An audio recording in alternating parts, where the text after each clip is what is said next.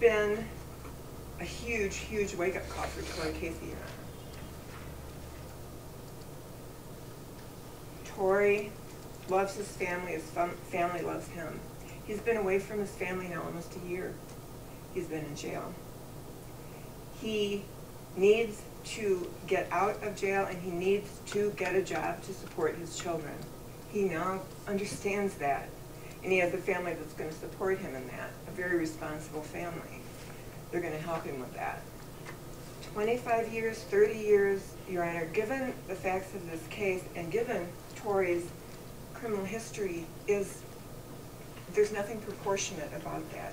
And we would ask the court to consider a sentencing that's well under the guidelines in this case, Your Honor. For that reason, Tory, with some education, some job training, is ready to get out and be a responsible member of society. And I would ask the court to consider sentencing him to well under the guidelines. Thank you, Ms. Mr. Casey, what would you like to say before I impose sentence in your case?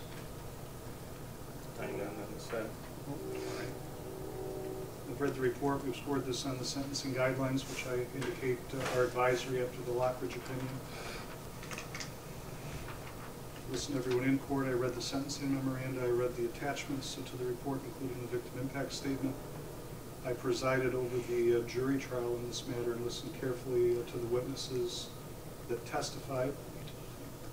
Among the more brutal of the CSCs that I've had the misfortune of presiding over my ten years on the bench uh, here, the defendant took the victim to a rural area and brutally beat and raped her.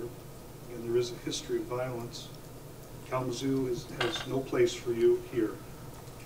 When I look at what sentence is reasonable, and that's the question that the court has to answer, probably one in the middle of the guidelines is reasonable. What's the middle of the guidelines? That's 48 and three quarter years at the minimum.